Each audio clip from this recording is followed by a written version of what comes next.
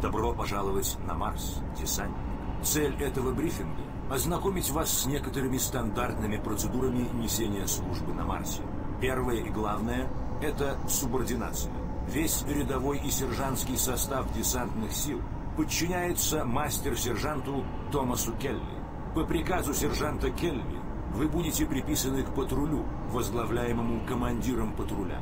Обращайтесь к командиру патруля по всем вопросам, связанным с несением службы. При исполнении служебных обязанностей оставайтесь в пределах патрулируемой территории. В ваш КПК записана вся информация, необходимая для эффективной охраны вверенной территории. Весь персонал должен находиться в зонах, которым он приписан.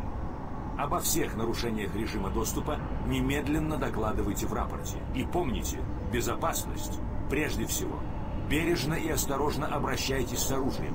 Никогда не открывайте огонь там, где это может поставить под угрозу жизнеобеспечение комплекса. Не забывайте, вы лучшие воины галактики. Бдительно несите службу. И удачи вам, десантник.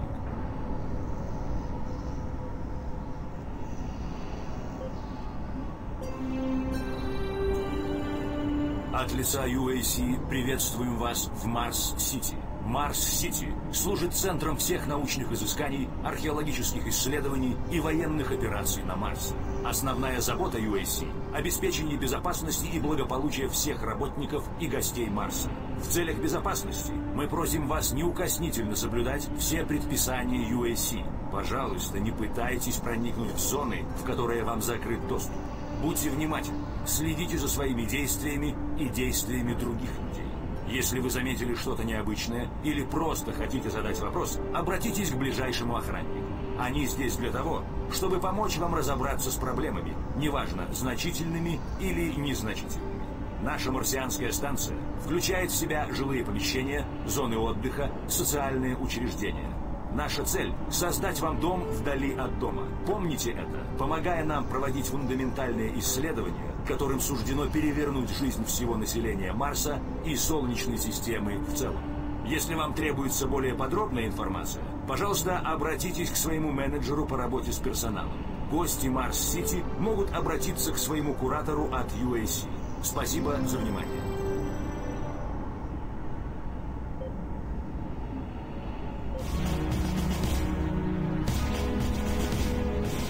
Представляем еще одну великолепную разработку UAC – плазмомет МАКС-4. Многоцелевое оружие для боя на средней дистанции. Плазмомет выпускает поток синтетической плазмы, резервы которой почти не ограничены, и поэтому соответствует важнейшему критерию вооружения современной мобильной пехоты – обилию дешевых боеприпасов. Это оружие обладает значительной огневой мощью, низким весом и высокой скорострельностью, что делает его незаменимым во многих боевых ситуациях.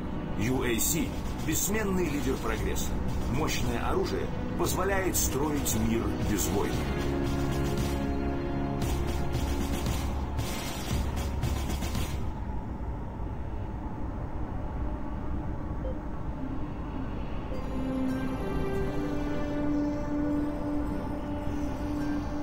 Добро пожаловать в лабораторный комплекс «Альфа».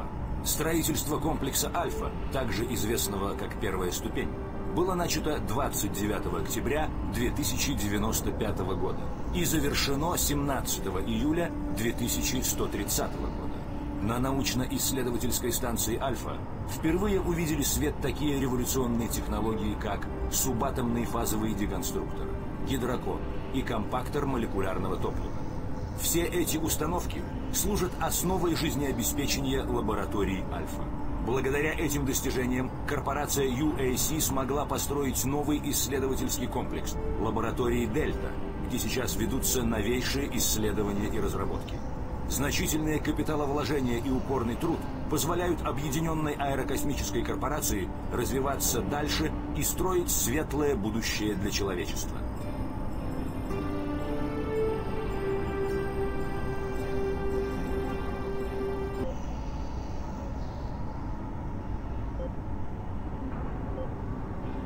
Многие поколения человечества жило в постоянном страхе перед тем, что природные ресурсы когда-нибудь истощатся. Попытки освоить другие планеты лишь усилили нашу потребность в металлах, нефти, пище, воде и даже воздухе. Чтобы удовлетворить эту потребность, ученые UAC разработали новейшие технологии, которые вскоре принесут огромный выигрыш и UAC, и инвесторам корпорации, и человечеству в целом. Наши ученые смогли взять к себе в союзники сам Марс. Посмотрите на эти огромные красные пустыни. Богатые оксидами железа марсианские породы – главное сырье будущего. Мы разработали процесс, который дестабилизирует атомную структуру порошкообразного оксида железа и дробит его на субатомные частицы, которые затем рассортировываются и образуют другие химические элементы. Субатомный фазовый деконструктор позволяет нам осуществить мечту алхимиков Средневековья – превратить красный песок Марса в чистый воздух, свежую воду и водородное топливо краеугольные камни для того, чтобы сделать Марс второй Землей и выйти из пещер и стальных коридоров на поверхность. И это только начало. Атом за атомом UAC строит светлое будущее для всего человечества.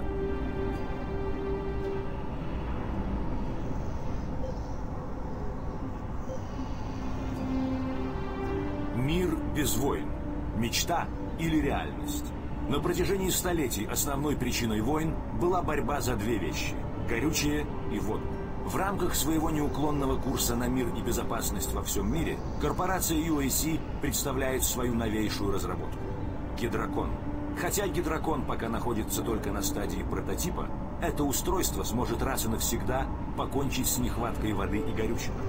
Дробя молекулы оксида железа, гидрокон вырабатывает кислород и водород дешево и безопасно без значительного потребления электроэнергии. Водород затем используется для производства водородного горючего, универсального и абсолютно безопасного вещества, которое может использоваться как в бытовой технике, так и в суперсовременных ракетных двигателях. Побочный продукт производства этого горючего – бесконечные запасы пресной воды, чище, чем в любом источнике на Земле. Мы строим мир, где технологии, подобные гидрокону, положит конец засухе и гражданским войнам в странах третьего мира, где никогда не хватало воды и горючего. Бессменный лидер в области научных исследований, Объединенная аэрокосмическая корпорация надеется, что создание гидрокона позволит человечеству построить мир без войн.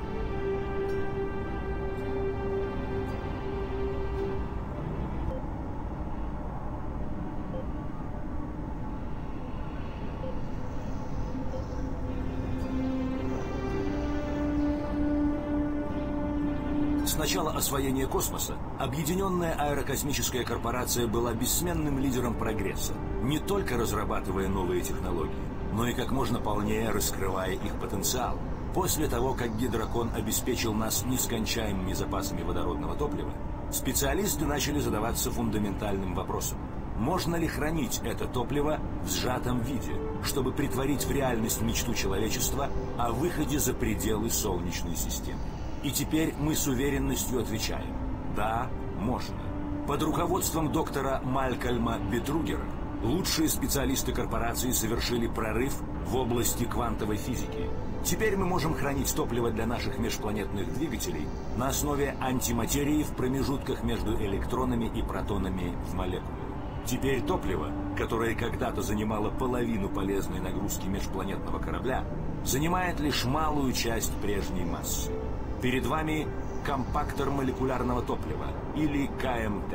Еще один шаг навстречу мечте человечества – достичь самых удаленных планет и колонизировать их. Корпорация UAC уже давно взяла курс на то, чтобы построить мир без войн.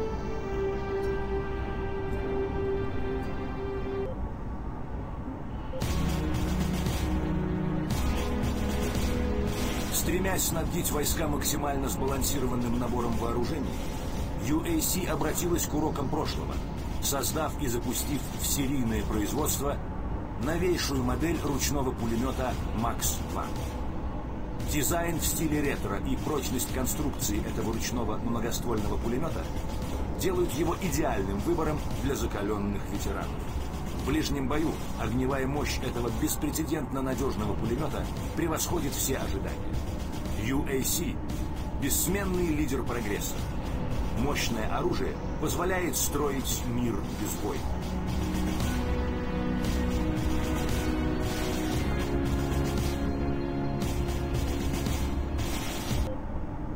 Добро пожаловать в отдел жизнеобеспечения марсианской станции. Этот видеоролик содержит всю информацию, необходимую для эффективной и безопасной работы.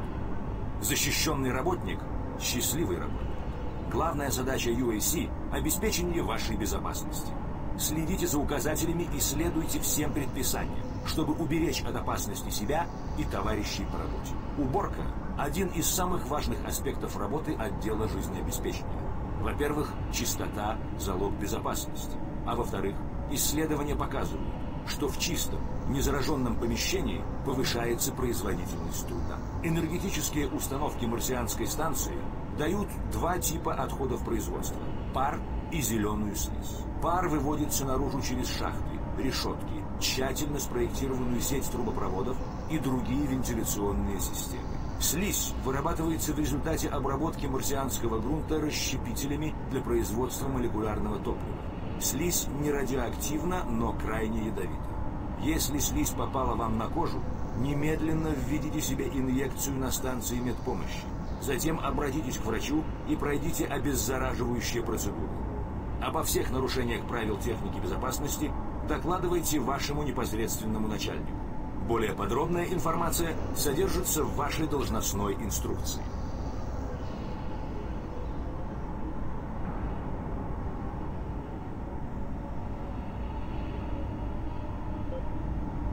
Меня зовут Йен Маккормик.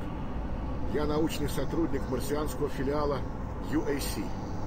Я работаю, то есть работал, под руководством доктора Малькольма Бетругера, помогал ему ставить различные эксперименты. Хотя весь последний год мы занимались только телепортацией. Не знаю, смогу ли выбраться отсюда живым, поэтому я записываю этот видеодиск, чтобы люди знали, что тут случилось, и не дали этому ужасу повториться. Сначала эксперименты по телепортации были невероятно увлекательны. Мы создавали новую науку, нас пьянили новые горизонты, мы чувствовали, что производим переворот в жизни человечества. Я гордился тем, что участвую в таком потрясающем проекте. Гордился тем, что работаю бок о бок с гением. Еще во время самых первых экспериментов мы заметили, что телепортация происходит не мгновенно, а с некоторой задержкой. Причем время этой задержки варьируется. Телепортация происходит следующим образом. Объекты разбираются до квантового уровня, переносятся и вновь собираются в точке выхода. Каждый этап этого процесса должен был осуществляться мгновенно. Но мы так и не поняли, откуда берется задержка. Мы отправили через телепорт робота с видеокамерой. И были потрясены. Робот успел отснять несколько кадров. И с них прямо в камеру смотрело несколько пар глаз. Мы обнаружили новую форму жизни. Петругер немедленно отправил запрос на присылку добровольцев, желательно из числа солдат охраны. Он хотел поймать этих существ живыми. Я сделал много ошибок в своей жизни. Но есть один поступок, которого я буду стыдиться до конца дней. Нам нужно было получить разрешение медиков на отправку людей через телепорт. И я подделал несколько отчетов, чтобы показать, что мы якобы ставили эксперименты на живых тканях. Тогда я пошел на подлог без зазрения совести. Но через несколько дней, когда мы пропустили через портал третьего испытуемого, он отгрызал собственные пальцы. Судя по всему, он сошел с ума. Мы стали отправлять людей группами, примерно раз в два дня. Вернувшись, люди рассказывали чудовищные вещи и показывали страшные фотографии. И в конце концов мы поняли, что открыли путь не просто в иное измерение. Мы открыли портал в преисподнюю и пытались захватить для анализа чертей. А потом доктор Бетругер сам отправился через портал. Не знаю, чем он думал. Этот эксперимент не планировался. Он просто включил портал и ушел. Мы не смогли его остановить. Он вернулся другим. Он выглядел так же, говорил так же. Но не знаю. Что-то... что-то было не так. В конце концов он сделал немыслимое. Взял душекуб, артефакт, который нашли в руинах, и унес его за портал. Стабилизаторы портала отказали, и на базе разверся настоящий ад. Какие же мы дураки. Нам надо было уничтожить порталы, как только мы поняли, что там на той стороне. О, Господи, прости меня. Что же я натворил? Кто-нибудь, не дайте этому повториться. Простите. Йен Маккормик. Конец записи.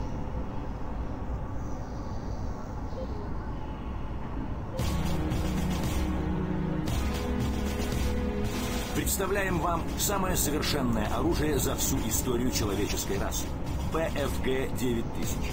Огневая мощь этой полностью автономной переносной огневой платформы не поддается описанию.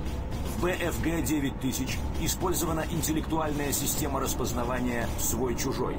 Каждый заряд содержит миниатюрный, но очень мощный компьютер, который выполняет наведение и направляет по каждому лучу дополнительный удар, направленный на ослабление цели перед детонацией. Детонация заряда производит опустошительный эффект. В радиусе 15 метров не выживет ни один противник. БФГ-9000 не рекомендуется использовать для боя на короткой дистанции, но на открытой местности или при необходимости поразить сразу несколько целей лучшего оружия не найти. Защита от противника, вооруженного БФГ, только одна – огонь из порохового оружия. Если заряд будет уничтожен до взрыва, процессор не сможет запустить финальную термоядерную реакцию и детонация будет неполной. За более подробной информацией об этом оружии обращайтесь в отдел новейшего оружия UAC.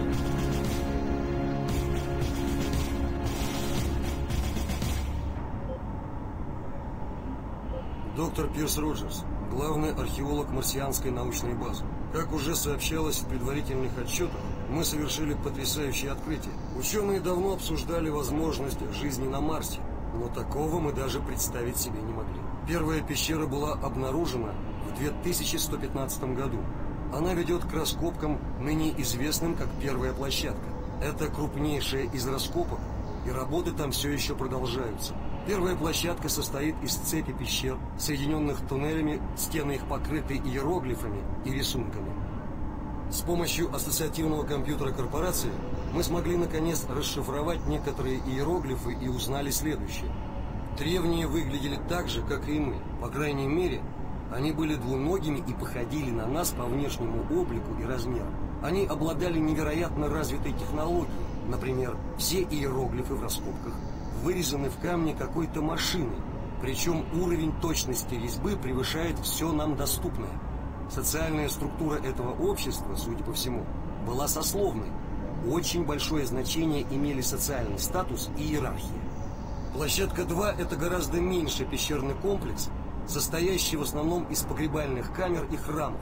Здесь обнаружено множество отдельных артефактов. Все находки на площадке 2 сфотографированы и вывезены на Землю для дальнейшего изучения.